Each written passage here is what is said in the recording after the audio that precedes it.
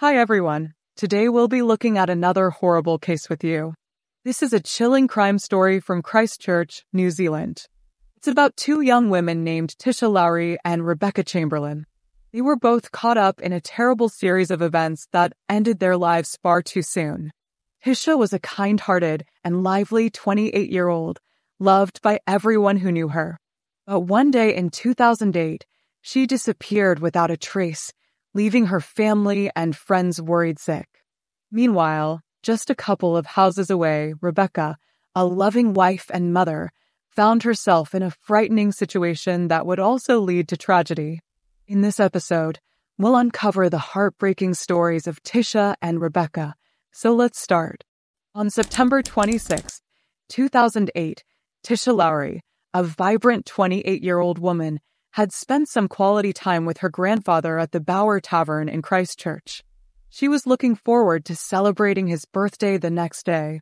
Recently, Tisha had moved in with her grandfather to take a break from her 48 year old boyfriend and reflect on their relationship issues. That Thursday morning, Tisha left the tavern to return home. Little did she know that it would be the last time she'd be seen alive. She didn't show up for her grandfather's birthday celebration the next day which raised concerns among her family members, especially her mother, Tanya. Tanya, troubled by Tisha's absence, reached out to her boyfriend, only to discover that he hadn't seen or heard from Tisha for days. Panic set in, prompting the family to contact the police and report Tisha missing on October 2nd, 2008. Detective Senior Sergeant Virginia Le Bas made a public plea for information a week after Tisha's disappearance and the investigation intensified. The police searched Tisha's grandfather's house and other places she frequented. Community members distributed flyers and joined the search efforts, hoping to find any clues or witnesses. Despite the involvement of 35 officers and extensive searches, Tisha remained missing, leaving the community deeply troubled and desperate for answers. The search efforts expanded to the Avon River, a scenic spot where Tisha might have taken on her way home from the tavern. Eight months later, on the 11th of June, 2009, the police released a statement that there was now a reward for any information on the whereabouts of Tisha Lowry. As the days turned into weeks and the weeks into months, the community's hope of finding Tisha alive began to fade. Yet, they remained determined to uncover the truth and bring closure to Tisha's family and friends. One year after Tisha's disappearance. In around mid of November, Christchurch police received a call from a man named Jason Somerville stating that his wife had not returned home after setting out for church at 10:30. Police spoke with him and he said he felt the fact she left her keys was out of character. Her handbag, cell phone and bank cards were also left and he stated she was a recovering alcoholic with a history of self-harm who was on antidepressants. On September 2nd, police contacted him and he stated there was no sign of his wife. The day after he went to his local police station to report that he had found his wife's glasses and wedding ring had been posted through his letterbox overnight. However, his demeanor and subsequent actions raised suspicion among investigators. During questioning, Somerville stunned detectives by admitting to killing both Tisha and Rebecca. His confession revealed chilling details about the crimes that sent shivers down the spines of those involved in the case and the wider community. Somerville described the events leading up to Tisha's murder on September 25, 2008. On that day, sometime between 11 a.m. and 12.30 p.m., Jason Somerville is home alone at his house. Then, he suddenly hears someone was, was knocking at the front door. When he opened the door, it was wearing a Chicago Bulls jacket and jeans. It would seem that Tisha had been to Jason's house previously, but what she had come over for this day is unknown. Jason allowed Tisha into the house. She started playing with the computer. He became increasingly angry when she refused to leave despite his commands. In a fit of rage, he pushed her down the stairs. Then, he choked Tisha until she couldn't breathe anymore.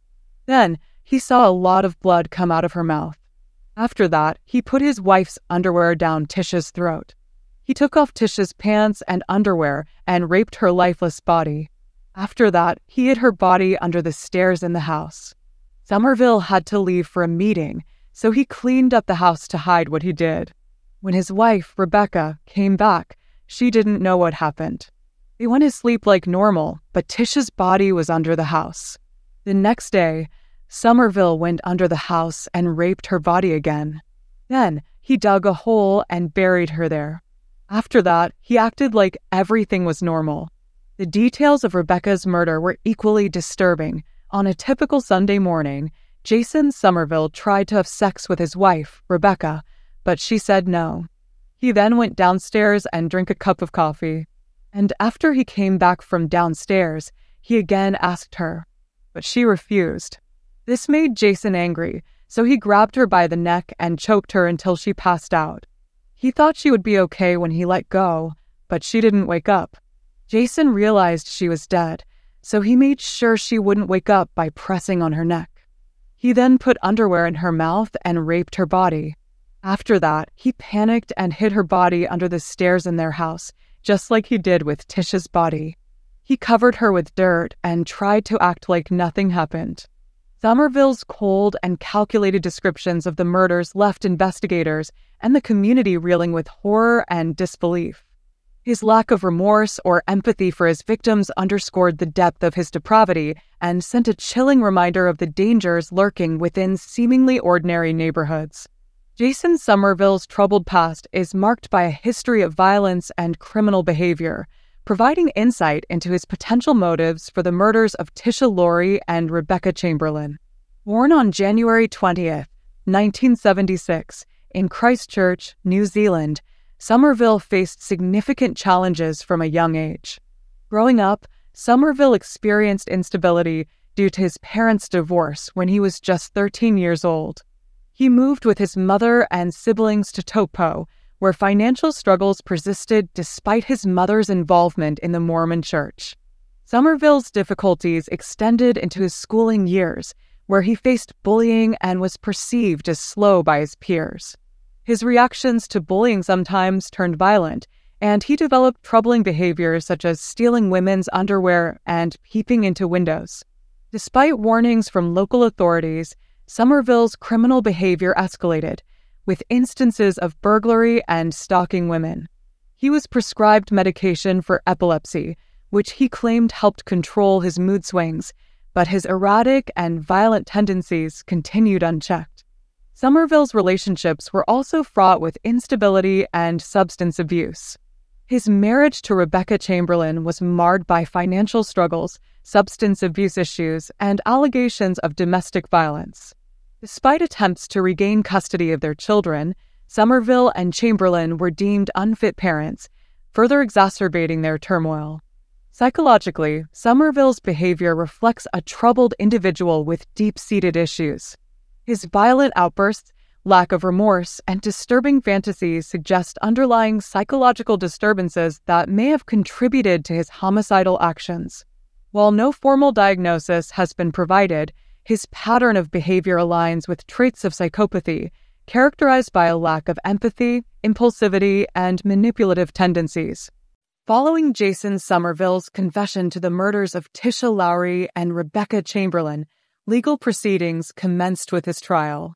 The prosecution presented compelling evidence, including Somerville's detailed confession and forensic findings linking him to the crimes. Witnesses testified to Somerville's erratic behavior and history of violence, painting a damning picture of the defendant. After deliberation, the court delivered its verdict, finding Somerville guilty of both murders. The judge sentenced him to life imprisonment with a minimum term of 23 years. Despite Somerville's claims of remorse, the court deemed him a significant risk to society, citing the impulsive and violent nature of his crimes. A poem which Rebecca Chamberlain had written shortly before she was murdered, titled I Am Not a Mistake, was read in court. A statement from Rebecca Chamberlain's mother was read in court that said she has had trouble sleeping and there were days in which she could not stop crying. Rebecca's father had a statement read on his behalf. I really miss Rebecca and feel lost without her in my life. Tisha Lowry and Rebecca Chamberlain's bodies were removed on the night of the 7th of September, 2009. Crowds of people had come out to watch the removal, including members of Tisha Lowry's family. Her mother, Tanya Lowry, embraced relatives in tears as Tisha's body was carried past her and placed into a hearse. In the aftermath of the murders, calls for reform echoed throughout the community, urging authorities to address systemic shortcomings in the response to domestic violence. Advocates called for increased resources for victim support services, improved law enforcement training, and greater awareness of the warning signs of abusive behavior. The tragedy sparked a renewed commitment to protecting vulnerable individuals and holding perpetrators accountable for their actions. As we end our documentary, we remember Tisha Lowry and Rebecca Chamberlain, whose lives were taken by Jason Somerville. Their stories show how dangerous domestic violence can be. And that's all for today. Subscribe to our channel and comment down below if any true crime case you want me to cover. And give your suggestions on how should I improve my videos.